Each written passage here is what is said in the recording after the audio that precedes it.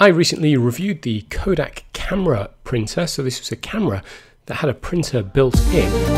If you just wanted the printer, you didn't want the camera element, you just want to use your mobile phone. Well, I've got two options for you today, a mini printer, and a larger printer. So let's start with the mini printer first. This is a Bluetooth printer kindly sent to me for review. There's not much in the box. You get the main Bluetooth printer, a user guide, which you don't really need because it's so simple to use. And to charge this up, there's a USB cable. It's a micro USB cable that just plugs in. It's a nice looking bit of kit. It's glossy, so you can see it's quite reflective. There's not much to it. On one side is the opening drawer for the main printing cartridges. It's 10 prints to each cartridge and it just slides in, slides out. So when you're ready, you pop a new one in. Cartridges come in packs of threes and it's a three by three print. There's a charging port, a reset button, a power button. There's a couple of indicator lights, bits unclear on here, but those will just let you know it's powered on. And then there's a little slit for the printed photo to come out. This is all controlled by a companion app. You pair the printer, find the photo you want to print and hit the print button. This is going to take a few minutes because the printer needs to sort itself out, warm up and then start printing. So while it's doing that, let me just give you a quick tour of the app. Very easy to use. You can turn photos monochrome. You've got transformation tools where you can crop them into different aspect ratios. You can adjust brightness, contrast, saturation and sharpness. There's a range of inbuilt filters. There's also some frames if you want to add a funky frame to your photo.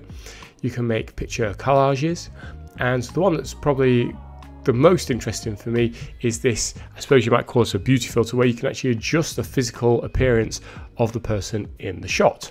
You don't have to do any of that. Of course, you can edit this in something else, Photoshop Mobile or any other app, save the photo and just load it in to this app for printing. And you can see the printing process takes a few minutes, so I'm going to speed it up and it layers the different colors. So first it prepares, then it goes through the different colors and eventually it protects the photo and once it's fully printed it's ready straight away there's no waiting around there's no smudging it prints off really good quality I'll put affiliate links to both this printer and the next printer in the description below. So if you're looking for something that prints slightly larger photos, then this could be your better option. It prints 4x6 photos. In the box, you get almost everything you need. You get the manual, which just explains how to set this up and the app you need. You get the printing paper. There's a tray which connects to the main printer and that's where you put the paper. I'll show you that in a moment. There's an adapter in case you've got an Apple phone that doesn't have USB Type-C.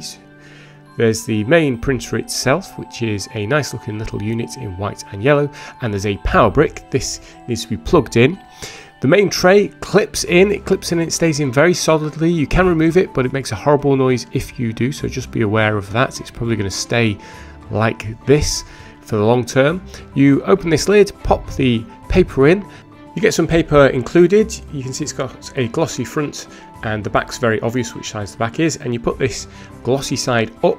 So you're almost ready to print. It comes preloaded with the print cartridge. And if you need to replace that, that's just at the side. This hatch drops down and that's the cartridge that comes pre-installed. Replacement cartridges are available in packs with the paper itself, which I think is a great idea. So you get the cartridge and enough paper for 80 sheets being printed off.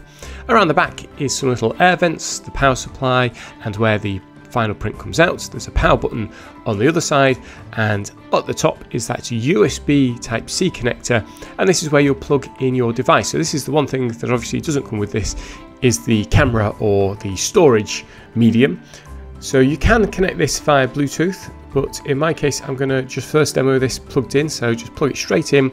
The phone detects it. I'm running Android. I simply have to tell it that I want to use it for photos.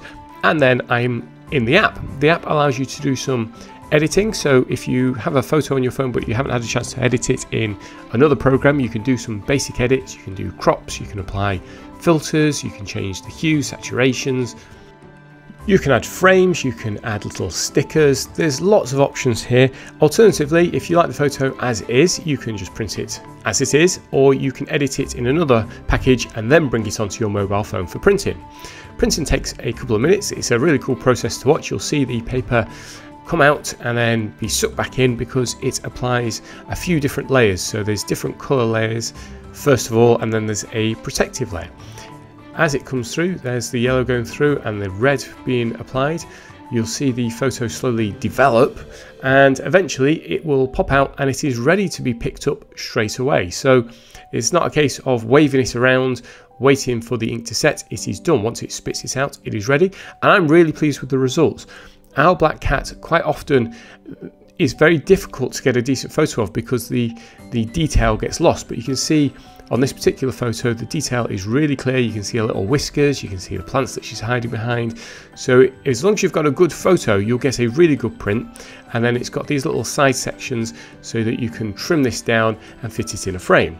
For those who don't want to plug it in, you can connect via Bluetooth. It has Bluetooth on board. You have to search for it and then away you go. And as you can see, the app also offers phone case printing, but these are looking like quite old phones now. I don't have any of these, so I haven't been able to test it. Overall though, a great product if you're looking to print off your own photos at home. Thanks for watching.